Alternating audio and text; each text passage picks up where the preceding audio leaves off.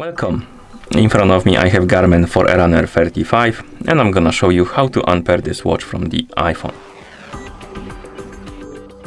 First thing we need to do is to open the Garmin Connect application on the iPhone that is paired with our watch. So let's open the app. In the app you should see the home page. Now tap on the more options icon. Scroll down and tap on Garmin devices. And here you should see your Forerunner 35 on the list of devices.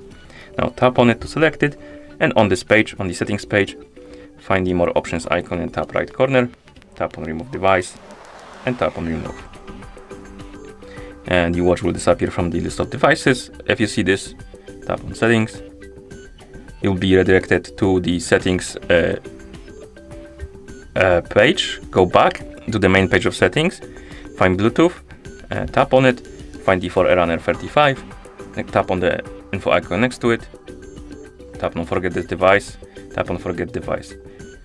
And then you can close the settings and the app. And that's how you unpair this watch from the iPhone.